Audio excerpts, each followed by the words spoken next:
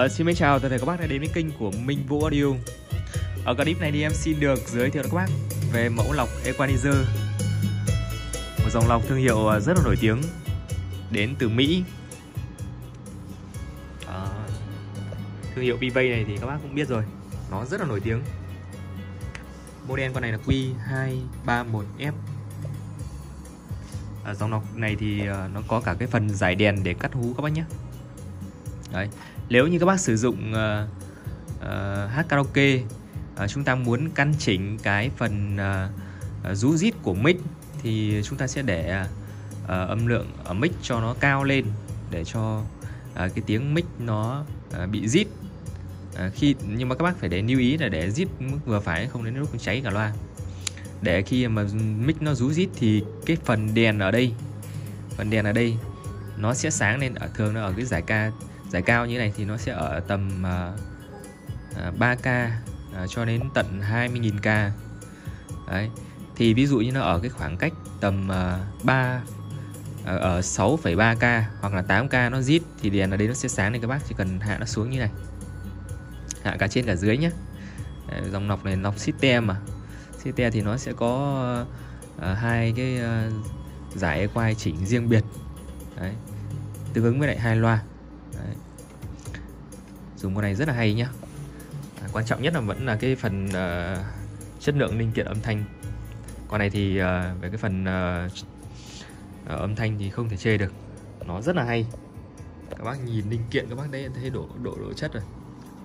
Đấy, em quay sắc nét các bác xem nhé máy đẹp zin nguyên bản các bác nhé hàng bán cam kết zin xịn. Thấy chưa?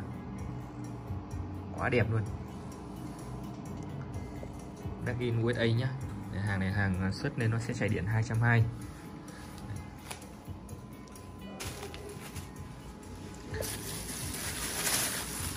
à, cam kết zin không có một mối hàn các bác nhá.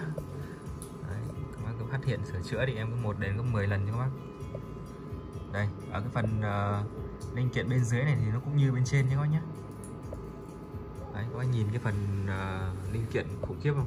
Mỗi một vỉ là một cái phần uh, uh, linh kiện uh, rất là gấu. Đấy. bảo sao nó không hay quá hay luôn.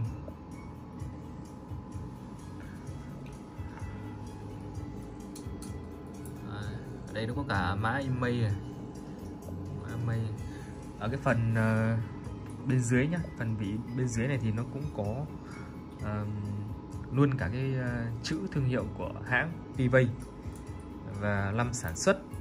Nhưng mà rất tiếc là uh, quay nó hơi hơi bị khó. Thế thành ra là em cũng chỉ quay như này các bác xem được thôi.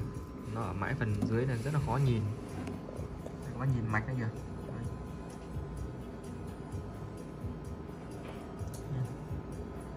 Nó ở cái phần đằng kia thì mới nhìn thấy nhưng mà quay nó hơi khó. Ở đây là mặt đằng sau các bác nhé. Mặt đằng sau thì uh, đối với dòng lọc này thì nó sử dụng rắc uh, 6 ly. Đấy, rắc 6 ly. Có hai đường out và hai đường in.